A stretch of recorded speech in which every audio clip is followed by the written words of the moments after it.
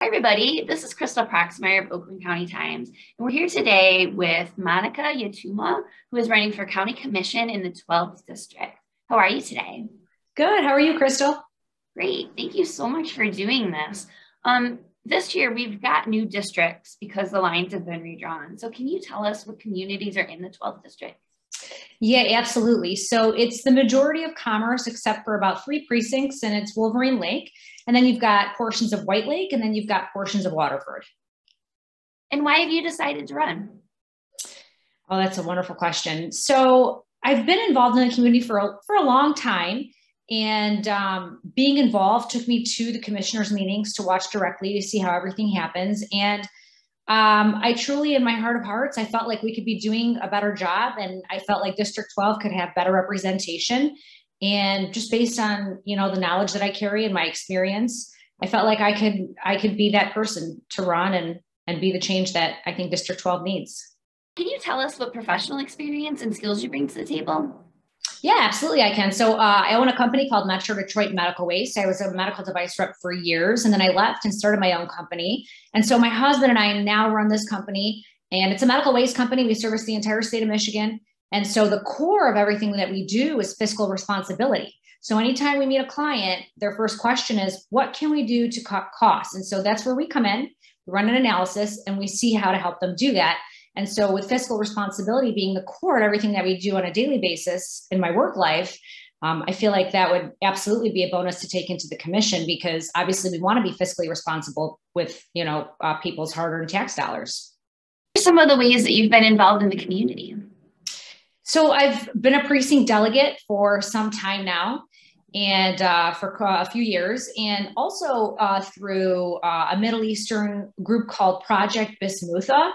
Um, we're heavily involved in that through our medical waste company, where we get medical products, medical supplies, medical device products, and we actually ship them overseas and get them to areas where they're desperate for those kinds of things in the Middle East, and and now even with what's going on with Ukraine and Russia and areas like that, because it's very difficult for them to get their hands on medical supplies. So we're heavily involved in that to help them do that.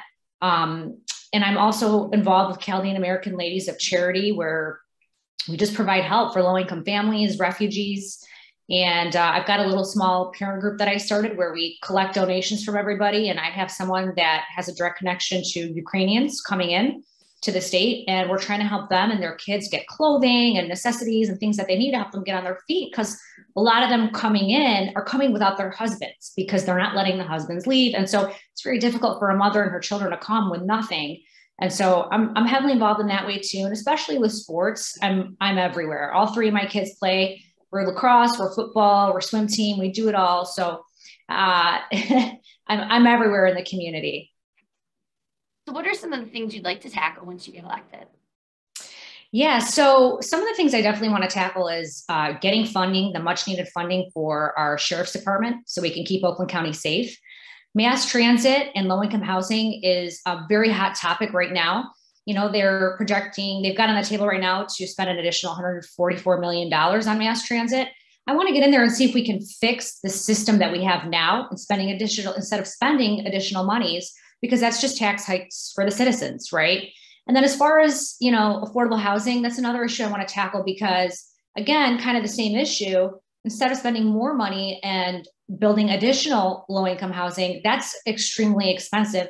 I think we should look at vouchers for people to be able to go out and get into current housing and apartments that are out there right now. There are vouchers available on a national level that I'm sure the county commission could tap into, and it would be much less expensive um, on Oakland County residents. So those are a couple of things that I want to tackle. Obviously, there's a lot more, but those are probably the main things I'd like to get into when I first get in there. In this race, um, there is some competition in the primary as well as in November. Why should the voters pick you? Absolutely. So when it comes to the primary, um, Christine Long is she's a wonderful person. She's very nice. I've met her. I've talked to her. She's also had the seat for 20 years. So I, I feel like in government, when someone's had the same seat for that long, it's just it's time for some change. And obviously, as I mentioned before, I've been to commissioner meetings, so I have noticed that we didn't really have very vocal representation. I feel like in today's politics, you got to be vocal. You need some backbone.